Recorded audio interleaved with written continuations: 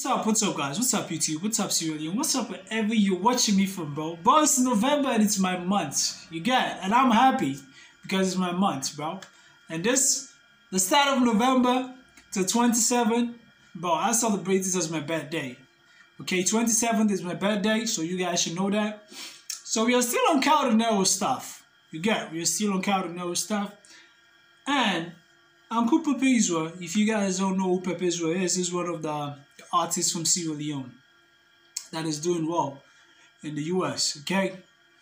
So you guys need to check some of his new projects out. You get it? But I need to address something real quick. And well, let me say this. This is my own opinion, and he has said his own opinion. What I'm about to say is my own opinion too. I'm not saying anybody should rock with it. You get it? Now, this is what Papayzua said, okay? About the Sladu, the decision they made. And from there, I will give my own take on that. Now, let's listen to him. Hello. I go by the name of Uncle Papayzua, and I just want to react to this issue between the DJs Union and Kao Denero. Let's be clear about one thing Salonga democracy. And one of the benefits of democracy and freedom of speech. Okay, Kao says something where the union not happy about. But for say banning song, that's not the right call. You know, let's disagree to agree. So now the tribal say any artist will say something where the union okay with for banning song not a solution. How about in a conversation or find ways for how we work on with issues? The industry already get problem. The songs they not even play. Foreign song they don't take over our industry. And then when they ban with the artist them back and play foreign songs, there's a better way to do this. Banning current song, that's not the answer. When I talk about it. Okay. Now, let's agree on the more fact, which is that there are lapses with the DJs, okay? DJ Union, they know that there are lapses heavily. There are lapses, okay? And which I believe one of the reasons why they called that particular meeting was to sit down with the artists themselves and the DJs to make sure to see how they can promote Salone music, which I believe Kao Denero is an ambassador, okay, for the entertainment industry. Now, you're saying they need to sit down and talk about it. Kao Denero as a leader, okay, he knew already one of the lapses of the DJs which, in my own opinion, I believe that particular day when they held the meeting was the best time for Kao Denero to voice out some of those lapses that he's thinking is they, they are into political thing. You get, which is one of the reasons. And I don't know why it felt like him not going there to say it in front of those people so at least they can recognize and rectify their, their, their wrongs they are doing. But him taking it to the next level, going to radio station and sit there and say his own mind publicly as a leader, which will also hinder that particular institution is the right reason or is the right way to do it. Let me be realistic here, bro. We get the fact that some DJs, they have lapses. That is 100% fact. But if the people call up the meeting to make sure they rectify some of those mistakes, and Kao Denero intentionally didn't go there based on his own reasons, thinking they are politically attached or where the hell the meeting was close to APC office, well, does that even make sense as a leader if you want to address something? It doesn't make sense. You get that I believe it's the best time for him to go there like, okay, bro, in my own opinion, I feel like the way we can able to address issues like this or to build the industry is to us for us to like get out of this political thing, which is the best way to solve it.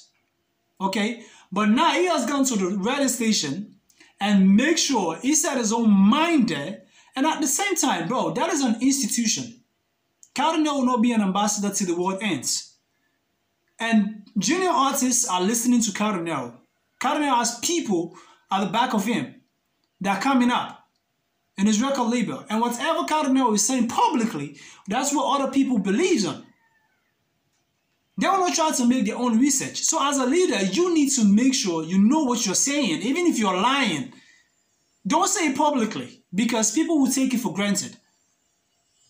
I believe you're supposed to tell Kao Denero that he's supposed to do that before, not after he had made the statement. And slightly they gave him 48 hours to retract the statement. 48 hours, which I believe any legal institution would do when they make a false statement about them. They'll definitely release a press release to make sure the person corrects him or self. You get, and that's what they did as an institution that is organized. They gave him 48, uh, 48 hours to retract or bring up proof, and he did it. And they have policies. So what do you want them to do? So still call on Kao Denero, okay, Kao Denero, you, you shouldn't have gone and said that, so come and sit here and let's see how... It doesn't work that way, bro. If the president made a mistake on live radio station or TV station, bro, they have a whole lot of people that will come and team. Because they don't need to call him to sit down. Kao Denero has the power already to call those people and sit there and voice out the opinion so the Slater needs to work on their own institution or their own constitution that governs them. That when you come against our policy, we need to react. So if their banning song is based on what Kao Denero said on the media, now you're talking about democracy, demo, uh, the democratic people or democratic country or democracy that we have in the country. You get Now, if you're thinking about that aspect, bro, then nobody will be in jail. Nobody will be in prison for nuisance, for false information. Nobody will be there. You get sometimes we need to sit down and tell these people the truth that they have lapses. And Kao Denero as a leader needs to know better that there are some things that you don't have to come and say on social media that you have seen that it's a lapses within the territory that you're governing. It's also a disgrace to you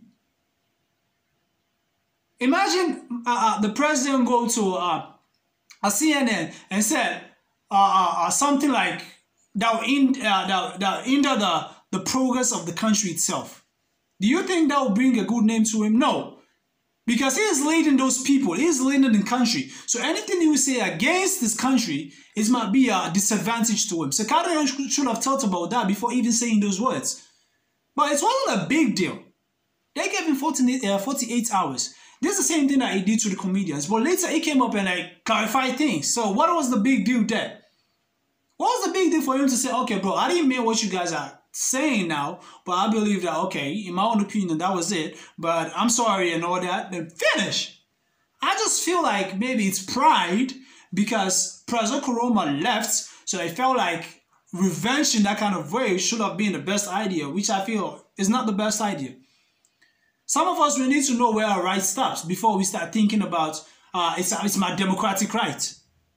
Because know that they can jail you if you don't know your limits to that.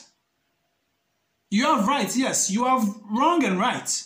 And at the same time, so sometimes you think that, okay, it's my right to say this, but at the same time, it's not your right.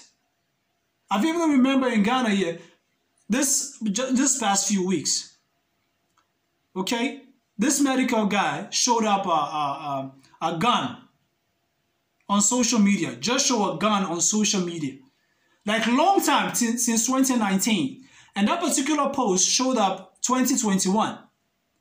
And he got arrested for that. I believe it is in Sierra Leone. How? The slow-minded that doesn't know the law will be like, ah, is, it, is this right? You get people as people need to know the limits of their rights. Kao Denero has the rights to go and say, bro, this is my institution, and as for now, I'm a, I'm a leader of this particular institution. So what I'm seeing is this is this, and I'm seeing some lapses, some lapses here. But if you're like he's his own boss. Nobody should control him. So anything that he says should be the knife court without rectifying it. So when people don't take full responsibility of what they said, they need to sue them for that. I should have even preferred them going to to to court and sue him so you pay big so you pay big money for that. But the banning tool is, is even necessary. So next time you learn what to say and rectify his own thing that he's doing. We need to respect the DJs too, even though they have lapses. You can correct lapses by lapses. If Kanye have made his own lapses as a, as a, as a leader, they will see it more than the Slado, which is for fact. You get So I believe some of you artists need to talk to him first before attacking the Slade because they have lapses already. You get it? So that's all I have to say. Peace out.